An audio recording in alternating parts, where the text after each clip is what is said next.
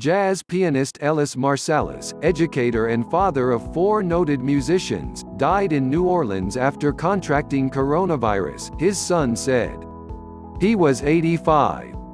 New Orleans Mayor Latoya Cantrell called the musician an icon in announcing his death.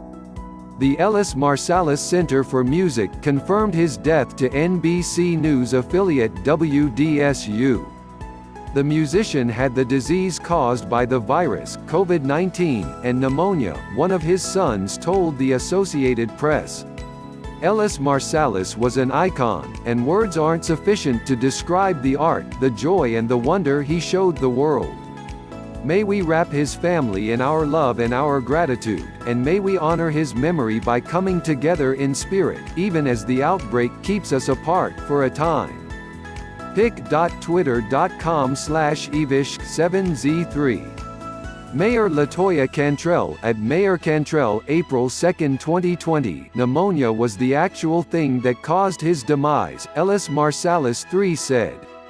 But it was pneumonia brought on by COVID-19. WDSU described Ellis Marsalis as the patriarch of jazz music's first family.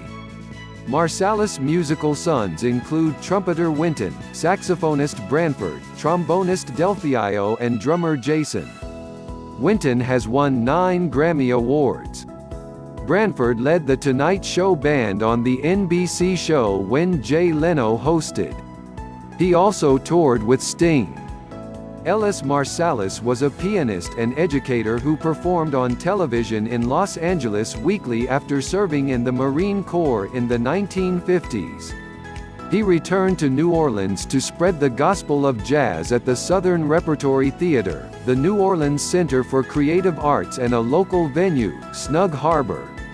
In 2006, following the destruction of Hurricane Katrina the previous year, Ellis Marsalis joined son Branford, volunteers from Habitat for Humanity and New Orleans native Harry Connick Jr. to build 72 homes for displaced musicians in the city's Upper Ninth Ward. The community became known as Musicians Village and, in 2011, it was added what would become its centerpiece, the nonprofit, 17,000-square-foot Ellis Marsalis Center for Music, which includes performance space, recording facilities, a listening library and classrooms.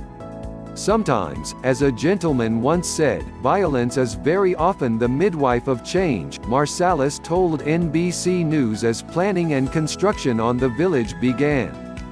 Katrina was very violent because what you are seeing now are things that some of us talked about for years in a kind of abstract manner, a place where musicians could hang out, if you will, where musicians can go and learn, he said.